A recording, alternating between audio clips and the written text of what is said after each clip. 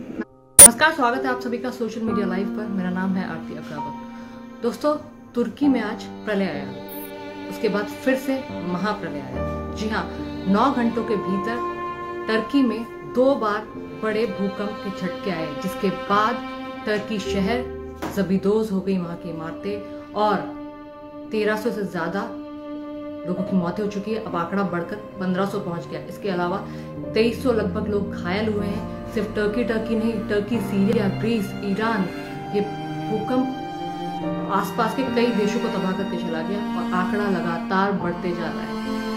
भूकंप की तीव्रता रिक्टर स्केल पर 7.8 पहले वाले, जो भारतीय समय अनुसार सुबह सुबह आया था, लगभग साढ़े तीन बजे। उसके बाद शाम को फिर से चार बजे के करीब बताया जा रहा है कि भूकंप का दूसरा झटका आया जिसकी तीव्रता 7.5 मापी गई है। लेकिन मैं आपको बता दूँ कि ये आंकड़ा लगातार बढ़ते जा रहा है। सुबह सुबह पीएम मोदी ने भी ट्वीट कर दुख जताया था।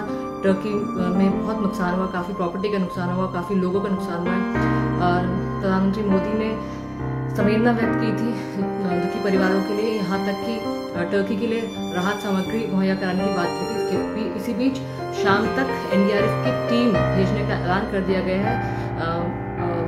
प्रधानमंत्री मोदी के महासचिव उनकी तरफ़ से ये बयान आया है कि टर्की में एनडीआरएफ की टीम भेजी जाएगी स्पेशल टीम भेजी जाएगी सौ जवानों की टीम भेजी जा रही है।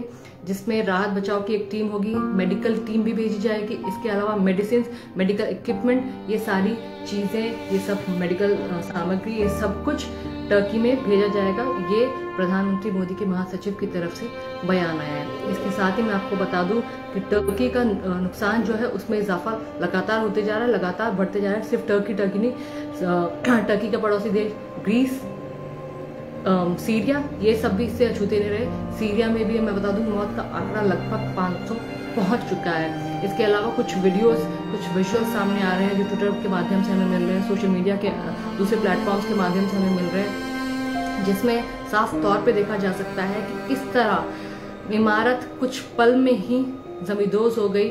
अडाना तुर्की का एक शहर है जहाँ की एक जहाँ का एक वीडियो वायरल हो रहा है काफ़ी तेज़ी से।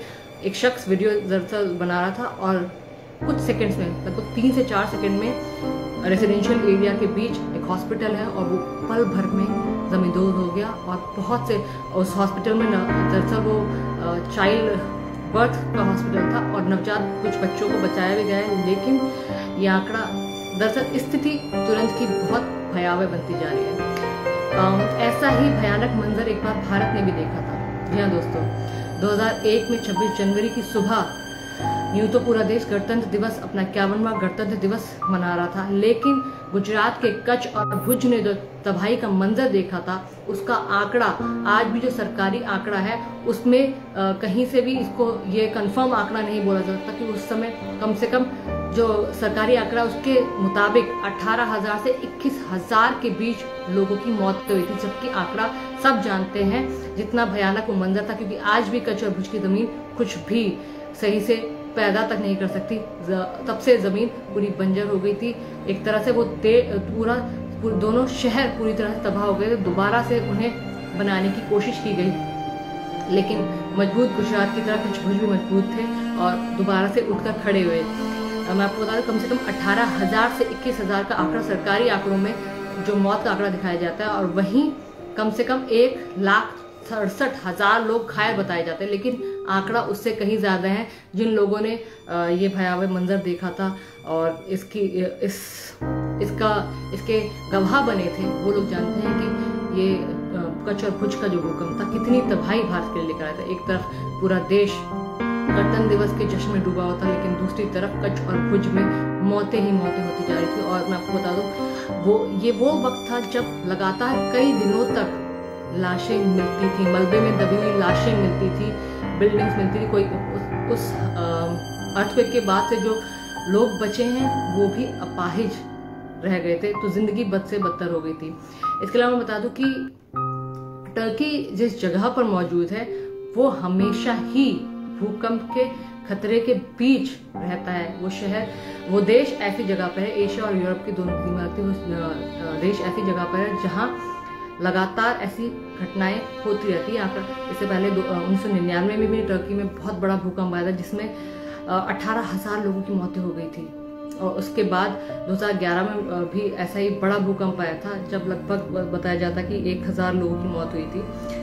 600 600 से ज़्यादा लोगों की मौतें हुई थी। तो ये दो भूकंप जो टर्की के इतिहास में काफ़ी भयावह साबित हुए और अब ये तीसरा भूकंप, जिसने टर्की को एक बार फिर से सोचने में मजबूर कर दिया है। वैसे तो टर्की में पुख्ता इंतज़ाम हर चीज़ के हैं। टर्की के राष्ट्रपति रजब तैयब अर्दवान की तरफ़ से भी कहा गया है कि हम अपनी तरफ़ से सारी की सारी कोशिश कर रहे हैं कि नुकसान कम से कम हो, लेकिन ये प्राकृतिक आपदा है। कितना वो खुद अपनी तरफ़ से बचा पाएँगे, ये भी सोचने वाली बात है। इसके अलावा बता दो कि भारत की तरफ़ से मदद के तौर पर एनडीआर की टीम भेजी गई, जिसमें सौ जवान होंगे। दो टीमें भेजी जा रही हैं। मेडिकल इक्विपमेंट भेजे जा रहे हैं मेडिसिन भेजी जा रही है। डॉक्टर्स भी भेजे जा रहे हैं टीम में। तो भारत अपनी तरफ़ से जो मदद कर सकता है प्रधानमंत्री मोदी ने ये तलाक दे दी है उनके महासचिव की तौर से महासचिव की ओर से भी बयान आ गया है कि भारत अपनी तरफ़ से दो एनडीआर की टीम भेज रहा है, सौ सौ जवानों की। इसमें तमाम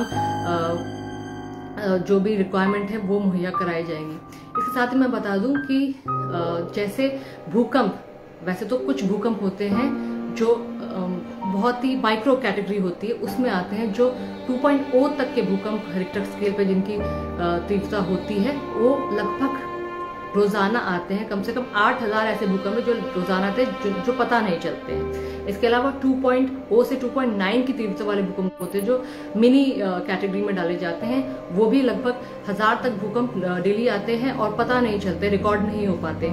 इसके अलावा मैं बता दूँ ऐसे और भूकंप आते हैं जो लगातार होते ती, तीन से 4.1 के बीच में भी भूकंप आते हैं वो भी आंकड़ा है। उन्हें थोड़ी लाइट कैटेगरी में रखा जाता है लेकिन जो भूकंप टर्की ने देखा है वो 7.8 ये सबसे हाई कैटेगरी वाला हैवी कैटेगरी वाला भूकंप होता है जिसमें तबाही का मंजर बहुत भयावह और भयानक होता है और मुश्किलें लगातार टर्की के लिए बढ़ती जा रही है कह लीजिए। दूसरी बात मैं बता दूँ टर्की जिस जगह मौजूद है टर्की के ईस्ट में टर्की के ईस्ट का जो हिस्सा है, उस पर ईस्ट एनाटोलियन प्लेट है। इसके अलावा अरेबियन प्लेट के साथ जुड़ा हुआ है। वहीं दक्षिण और दक्षिण पश्चिमी, पश्चिम की बात करें तो वहाँ पर अफ्रीकन प्लेट है। और जब ये प्लेट्स आपस में टकराती हैं तो वो उसकी एनर्जी से वो बाहर आने का रास्ता देखती है, जिसे हम आम भाषा में भूकंप कहते हैं। तो यही होता है कि जैसे सात प्लेटें हैं धरती के भीतर सात प्लेटें हैं, जब वो आपस में टकराती है और बहुत ही एनर्जी के साथ वो प्लेटें टकराकर खुश होकर ऊपर आती हैं जो ज़मीन के ऊपर वाले लोगों के हम हम जैसे लोगों के लिए वो तबाही का मंजर कर देती है। जब कोने, कोई प्लेट्स आपस में टकराती है, क्योंकि कोने सिकुड़ जाते हैं और वो कोने सिकुड़ने के बाद ये जो उनकी जिस एनर्जी से जो प्लेट्स टकराती हैं और वही हिस्सा ज़मीन के ऊपर आके पृथ्वी के लोगों के लिए तबाही का मंजर बन जाता है। ऐसा ही बताया गया कि जो टर्की है टर्की के पास जो प्लेट्स हैं, वो एंटी क्लॉकवाइज घूमती घड़ी जैसे क्लॉकवाइज घूमती है, लेकिन ये प्लेट्स हैं, वो एंटी क्लॉकवाइज घूमती है। तो ये टर्की एक ऐसी जगह है जहाँ हमेशा ही भूकंप का खतरा लगातार बना रहता है। हम तो उम्मीद करते हैं टर्की जल्द से जल्द अपनी इस आपदा से उभरे लेकिन सच्चाई यही है कि टर्की जिस जगह पर मौजूद है, जो प्लेट्स वहाँ पर हैं एंटोलियन प्लेट है और उसके बाद अरेबियन प्लेट के साथ जुड़ा हुआ है, फिर दक्षिण और दक्षिण पश्चिम में अफ्रीकन प्लेट है और उसके बाद उत्तर की साइड में नॉर्थ की साइड में यूरेशियन प्लेट है, जो उत्तरी एनाटोलियन प्लेट से जुड़ी है। जब ये प्लेट्स आपस में टकराती है, क्योंकि जो चक्कर है, वो भी एंटी क्लॉकवाइज है, इससे मुश्किलें और बढ़ती जाती हैं, तब ये भूकंप के तगड़े झटके आते हैं और झटके नहीं, बिल्कुल एक भयावह मंजर पैदा करते हैं।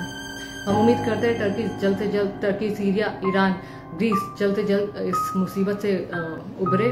और वैसे तो नेचुरल कलामिटीज इतनी बढ़ चुकी है कि एक तरह से मनुष्य भी अपनी तरफ़ से जिम्मेदार है। इतनी ज़्यादा डेवलपमेंट हो चुकी है, इतनी ज़्यादा कंस्ट्रक्शन होते रहते हैं, जिससे ज़मीन धसती जा रही है। तो ये एक तरह से हम सबकी खुद की ही देन है। लेकिन कहीं ना कहीं टर्की बहुत स्ट्रांग देश है और कई बार तो नेशनल कंडीशन ऐसी है जिस जगह टर्की जैसा देश बना है, वहाँ पर मुश्किलें बढ़ जाती हैं। चलिए दोस्तों, इस भूकंप से जुड़े बात में आप, अगर आपकी कोई राय तो अपनी राय दर्ज करा सकते हैं। अगर आपको कच्छ और भुज का वो मंजर याद आता है तो उससे जुड़ी कोई बात है तो वो भी आप अपने कमेंट अपने व्यू पॉइंट यहाँ पर दर्ज करा सकते हैं। इसके अलावा कल मिलूँगी मैं आपसे इसी समय से लगभग साढ़े छः बजे के वक्त। जो भी रीसेंट मुद्दा होगा उस पर चर्चा करेंगे। अपना बहुत ख्याल रखिए। Good night.